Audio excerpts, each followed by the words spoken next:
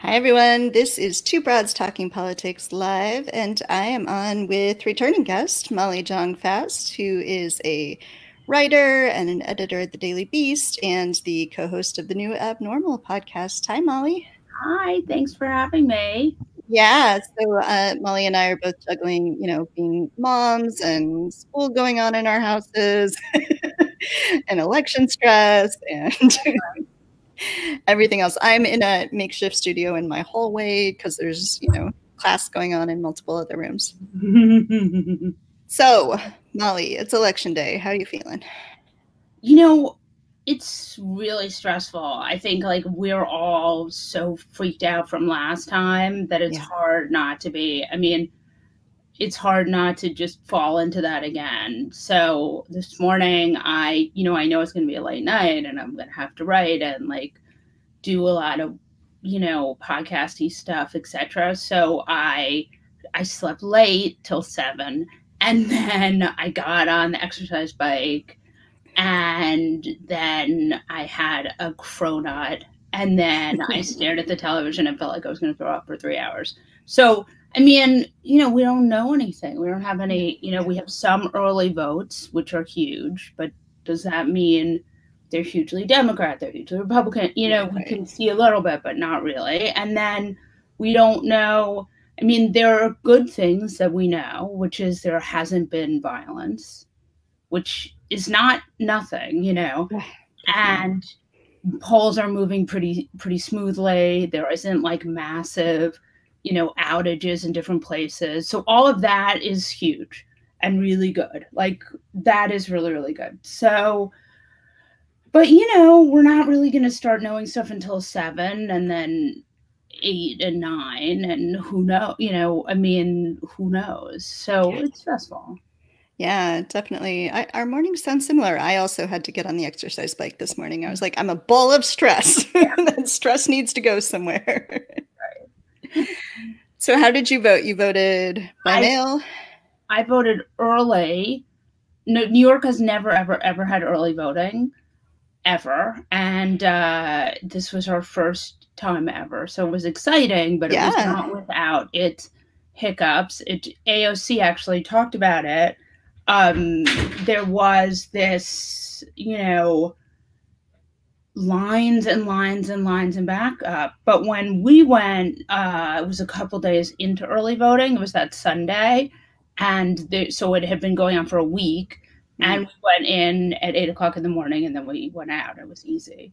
So, but you know, early voting is really exciting and has really changed the way Americans look at democracy because voting was very, you know, voting was if you can get off work on Tuesday, you can vote and now all of a sudden voting is Saturday or Sunday or Friday or Monday. And that is very good for democracy.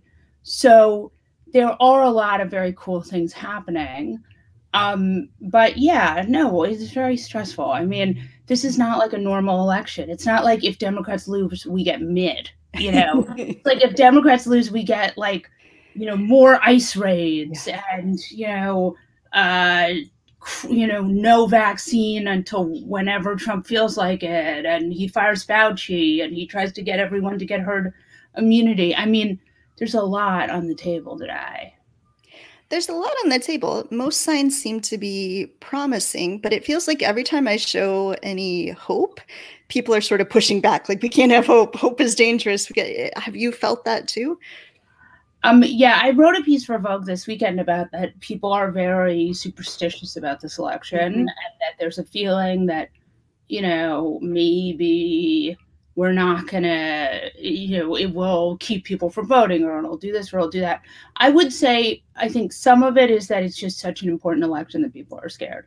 I think some of it is that four years ago we did not know how like if you had asked me that if there would be people who would vote for this reality television host who called all Mexicans rapists, I would be like, no, that would never happen. like, you know, and and people did, and a lot of people. And what is the worst thing about Trumpism and about all of this is that the more people who vote against Trump, the more it's a it, you know, we're rejecting Trumpism, we're rejecting racism and sexism and all the other kind of divisive stuff.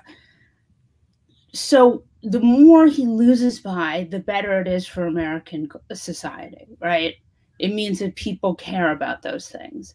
You know, a vote for Trump is you're not, you know, a vote for Trump is a vote for like lower taxes, and I don't care what happens to the other guy. And that is not, um, you know, that is not a great look for America. And so there is a lot hanging in the balance here. And it is not just about Trumpism, it's about like, who are we as a country? Are we a country that wants to be better, or are we a country that wants to be shitty? And in 2016, we were a country that just wanted to be shitty. So it is, you know, it's very hard. I think there's a lot going on.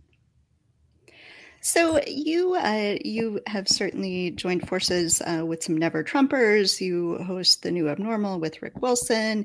You know what what do you think is going to happen to these sort of coalitions that we've built over the past four years if Biden wins tomorrow? You know what does that look like? That uh, that getting along look like moving forward?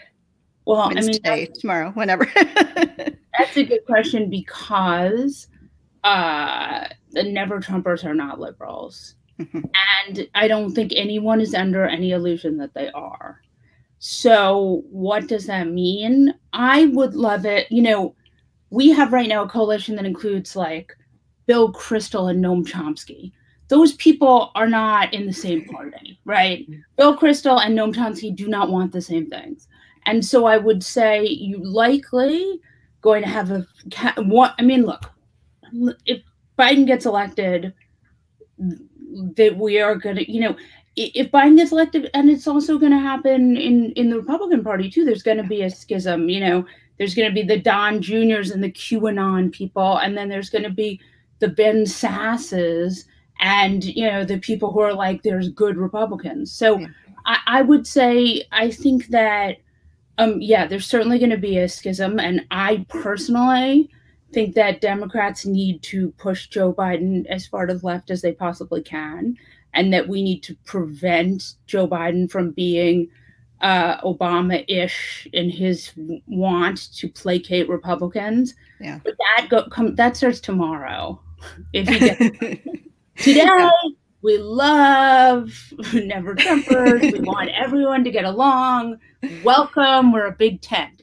Tomorrow yeah. we can worry about the other stuff. But you know, yeah, I mean, and and by the way, all the people who did not hold Trump responsible for anything are going to be enraged if Biden tries to even push a liberal.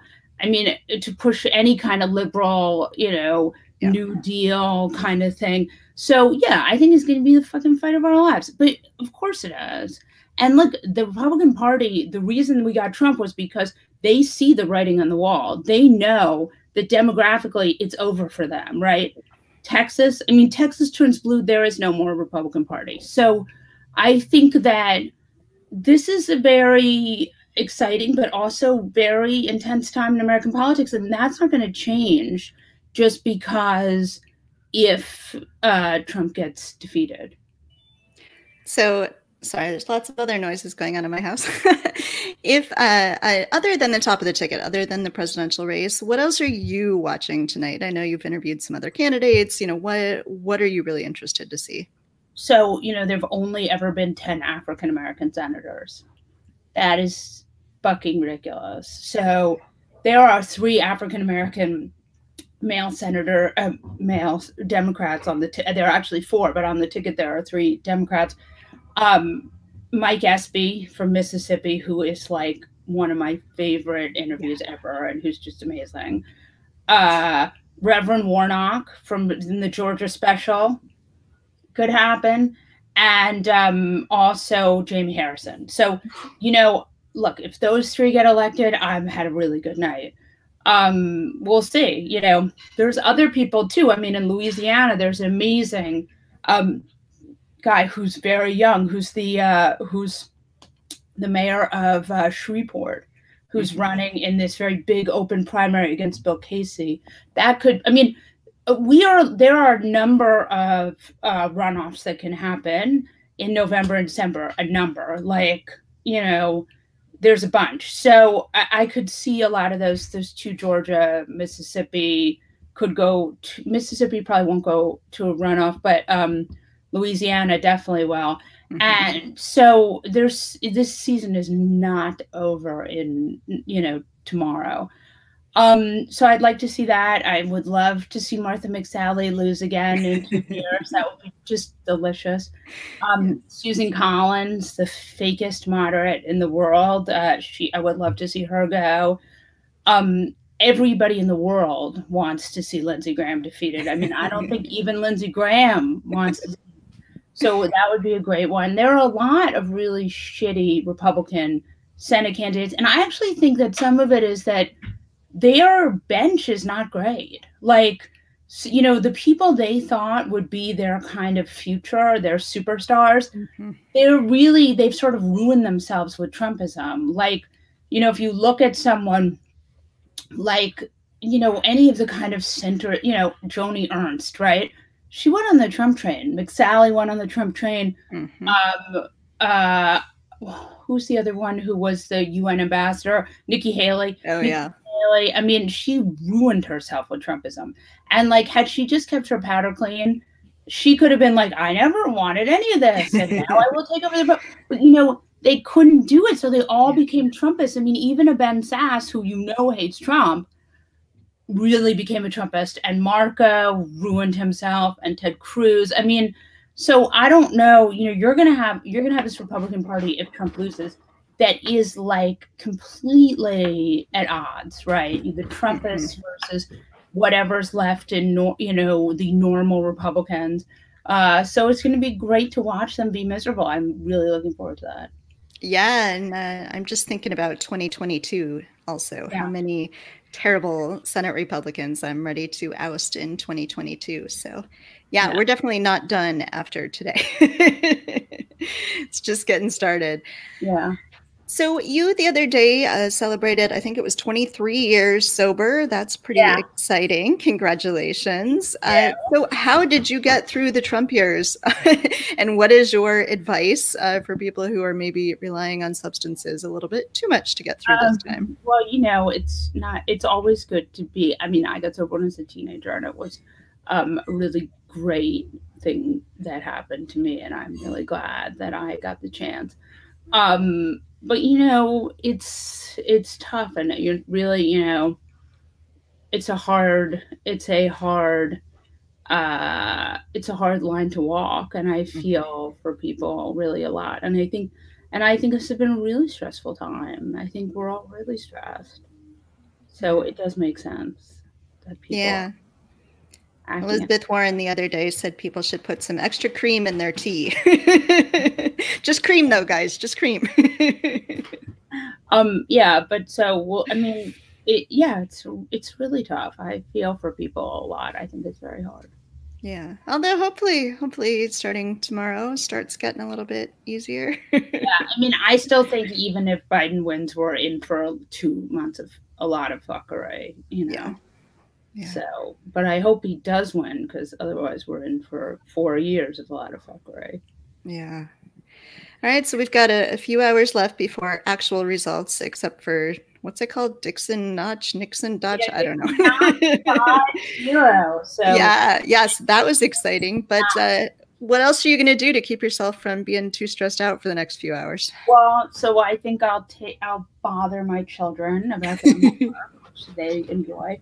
I, am going to write a piece today, and then I'm going to go on the Bulwark live stream a little later, and I'll go on uh, doing something else, and then you know, and hopefully I'll get some sleep so I can do some stuff tomorrow. And you know, it's it, this is we have done everything we can do, you know, and we just have to hope that the American people make. I mean, it's so insane the idea of like you know, and Trump has completely given up on the coronavirus task force. Yeah. So I do hope for, you know, the American people's sake that um, we do get some other uh, federal guidance here because stakes are high. Yeah. How are things looking in New York? I know they got a lot better after being really terrible, and it looks like maybe things are going the other direction again. I mean, I think it's inevitable that we'll have more, but uh, for now, it's been okay. But yeah, I mean, I think you're ter- it's terrible. Everyone is terrified, and there's no there's no federal guidance. So what you you know, there's no the choices are all bad. So I think it's it's really hard and it's scary. And that vaccine is going to be really tough to get out to people. And it really needs to be done in a way that is like careful because it needs to be. I mean, if it's this yeah. Pfizer vaccine, it needs to be stored at these very cold temperatures. So the fact that Trump has no plan for this vaccine and is like the army is going to do it is really, really, really bad and problematic. And like, we're going to have a vaccine and nobody's going to be able to get it because Trump world isn't going to have ordered the needles. I mean, that's where we're looking down the barrel of. And that's why this is so dumb. And people just, because there's like a lot to be done with coronavirus. And, you know, besides the testing and tracing, which this government has completely given up on, there's, you know, if you believe that a vaccine is going to save America, which a lot of people do, uh, you have to have the stuff to be able to give it. And right now we don't have that, and Jared is not working the working away at it. So uh, that's really scary to me. Uh, I thought Trump told me that starting tomorrow there will be no more COVID. It's just going to disappear. yeah, I mean it's just so much good in four years. It's really something. Yeah. Yes, yeah. definitely. All right. Well, is there anything else that we should make sure that we talk about today? Uh, I'm going to remind people that Two Broads Talking Politics and Mueller, She Wrote, and Electorette are doing a live show tonight. Uh, so people can check that out. Uh, you're going to be writing some pieces. Uh, where should people look for your stuff tomorrow? Um, I'm at the Daily Beast and I'm also at Vogue. All right. Excellent. And of course, your Twitter feed, I'm sure, will be fun for the next uh, however many hours we are all up waiting anxiously. That's so. All thanks right. for having me. Yeah, Molly, thanks so much. It was fun. And uh, we'll see you on the flip side. Yay. Thank you. Thank you.